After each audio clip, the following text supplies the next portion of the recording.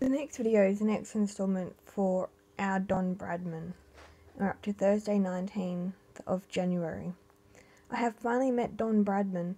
I remember the moment as long as I live. My legs felt like jelly. I was surprised at how small he is, almost as small as Mum, who is only five foot seven. But he has broad shoulders and is tan from spending a lot of time in the sun.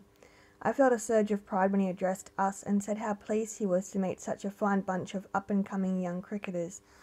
All eyes were fixed on him as he talked about growing up in Bowral and about how important it was to always play the game in the right spirit and how he felt when he broke the World Test batting record in England in 1930.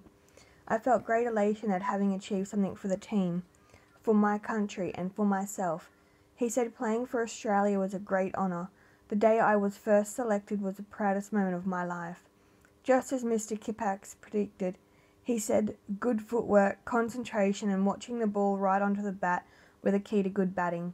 We then stood in a long line so he could meet us individually.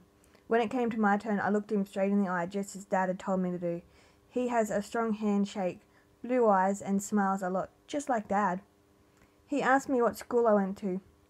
When I explained about Dad, Stockton, and Crown Street Primary School, he said, Ah, Victor Trumper's old school.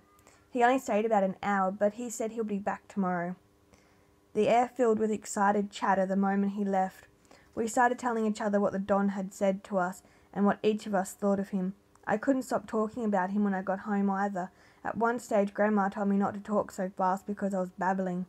Mum wasn't too pleased when she found out I hadn't washed my right hand, and I was going around telling everyone that they could shake the hand that shook the hand of Don Bradman. She insisted I wash it before tea. And that ends that instalment for our, our Don Bradman.